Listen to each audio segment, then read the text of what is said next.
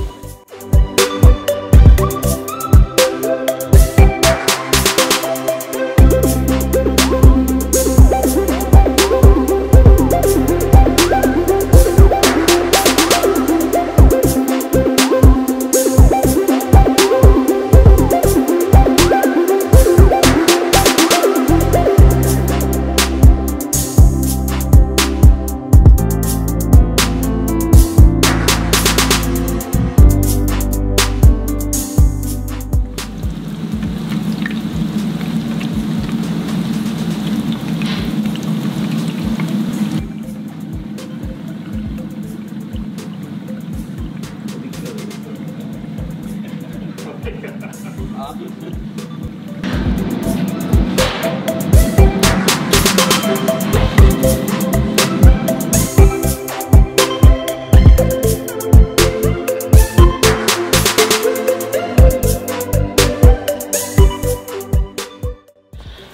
உறவுகளே. இந்த மிதிபடியை எங்களுக்கு செய்தந்தவர் வந்து கௌதமன் அண்ணா. சுவிசை சுவிஸை பொறுத்த வரைக்கும் இவற்றை மிதிவடிக்கு நல்ல வரவேற்பு இருக்குது. மக்கள் விரும்பி வேண்டி உண்ணுற அளவுக்கு இருக்கு அந்த மிதிவடி. வருமனவே வெறுமனவே சிற்றுண்டி சாலைகளில் இந்த மிதிவடியை வேண்டி உண்ணாமல் உங்களோட வீட்டு விழாக்களிலையும் இந்த மிதிவடியை பகிர்ந்து உண்டு கழிக்கலாம். அவர் வந்து சூரிஜிலான் இருக்கிறார். வரிசித்தி மகால் அவற்றை ஒரு தொழில் இங்கே இயங்கி கொண்டிருக்குது. உங்களுக்கு மிதிவடி தேவைன்னு சொன்னால் நீங்கள் அவரை தொடர்பு கொள்ளலாம். அவற்றை தொடர்பு விளக்கம் நல்ல சுவையான மிதிவடி